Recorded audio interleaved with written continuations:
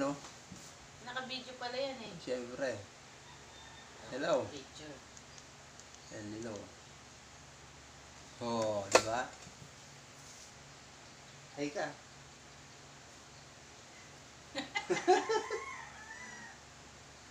Ay ka, mag-vlogs ka. Oh. Anong gagawin natin ngayon? Hmm? Ha? Vlog yan. Ano mo?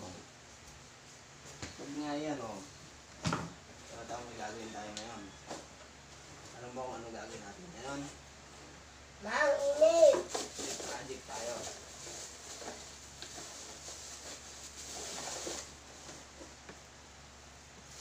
Ang project natin ngayon ay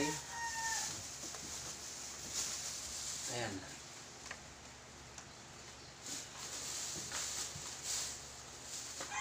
Ito ang project natin ngayon. Ayan o. Ayan o. Ayan. Gagawin natin ito o. Ito, ito. Papahing mga dagdag pambili ulam. Hindi ko kay Ate Beth. Mang, init eh. Na tubig. Ay, tuloy yan. Hindi naman ganun kainit eh. Ito eh. Ma, mo kasi ng. Ngayong umaga, ito po yung ating gagawin, ang ating TV. Ating TV po ay gumagana siya sa TV. Ngunit pagdating na sa TV Plus na ating gagamitin, ay hindi siya gumagana. So, try natin sa AB1. AB1. Come on, AB1. Come on. Let's go. Oh, wala. Wala po siyang signal. Ayan po. Nakikita po natin sa screen. Pero meron siyang green indicator sa kanyang TV Plus. Kulay green. Ibig sabihin, good naman po ang signal niyan. Pero yung video niya ay gumana. Try natin sa audio video 2 try natin wait lang try natin. Try natin ang display.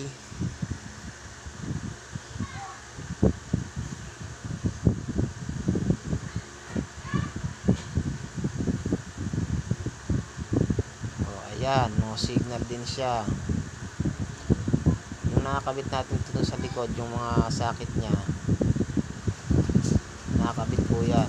Nasa AB AB1 pero trinay na natin sa AB1 at AB2 hindi pa rin siya gumagana no signal ang kanyang sinasabi. Dito at kung ano yung gumagana kaya ngayon ito po ang ating gagawin. DIY po natin ito ngayon. Ano tayo ng tester?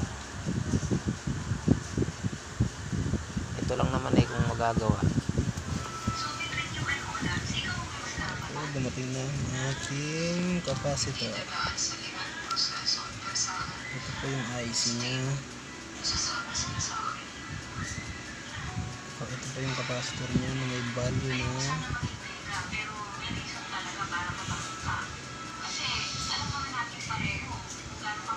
16 volts. Ito tanda. Medyo matagal na guys ah. Pasensya na kayo. Medyo. Okay,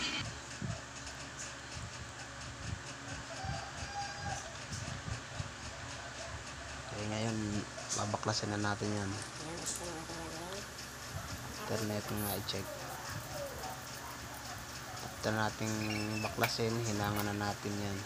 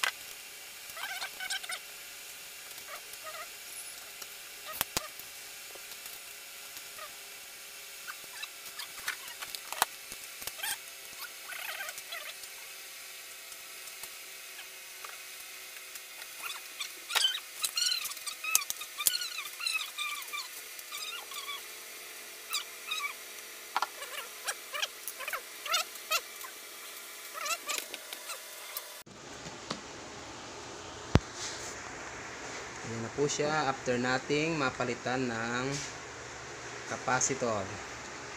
Gumagana na po. Ayan na po. Na-scan na rin din na yung naipakita. Ayan. Daming channel. Ayan o. Ayan o. Diba? Pwede. TV Plus. TV Plus. Ano? Linaw, oh. Diba, guys? Lalo nyo nang sira ng mga TV Plus nyo, pwede pang gawa ng paraan yan. Hanggang dito na lang po tayo. Maraming salamat.